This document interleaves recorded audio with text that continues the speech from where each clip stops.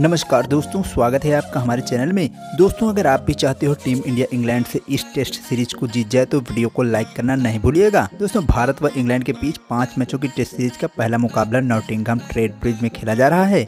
इस मैच में इंग्लैंड की टीम ने टॉस जीतकर पहले बल्लेबाजी का फैसला किया। जो रोड का यह फैसला टीम के हक में नहीं रहा और भारतीय गेंदबाजों के सामने इंग्लैंड की टीम पहली पारी में एक सौ तिरासी रन पर धराशाही हो गई। इस मैच में दूसरे दिन का खेल बारिश की वजह से रद्द कर दिया गया।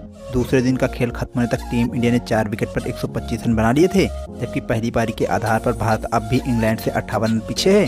मैच के दूसरे दिन लच के बाद कुछ ही देर खेल हुआ था कि बारिश होने लगी और फिर मैच को रद्द करना पड़ा। भारत की तरफ़ से इस वक्त क्रीज पर के राहुल, नवाज़ सत्तावन रन, जबकि ऋषभ पंत नाबाद सात रन बनाकर क्रीज पर मौजूद हैं। बता दें, भारत को रोहित शर्मा और के राहुल ने अच्छी शुरुआत दिलाई और दोनों के बीच पहले विकेट के लिए सत्तानबे रन की अच्छी साझेदारी हुई। इस साझेदारी को रॉरी बंस ने रोहित शर्मा को छत्तीस रन पर आउट करके तोड़ दिया। पुजारा को एडरसन चार रन पर आउट किया तो वहीं कप्तान कोहली एडरसन की गेंद पर गोल्डन डक का शिकार हुए। टीम के उप कप्तान अजिंक्य रहाणे ने पाँच रन पर अपना विकेट गवा दिया और रन आउट हो गए। पहली पारी में भारतीय गेंदबाजों का प्रदर्शन लाजवाब रहा और उन्होंने इंग्लिश कंडीशन का बखूबी फ़ायदा उठाया। भारतीय तेज गेंदबाजों ने ही सारे विकेट लिए, जबकि टीम में मौजूद एकमात्र स्पिनर रविंद्र जडेजा को कोई विकेट नहीं मिला। भारत की तरफ़ से बुमराह सबसे ज़्यादा सफल गेंदबाज रहे और उन्होंने चार विकेट चटकाया, जबकि समी को तीन सफलता मिली।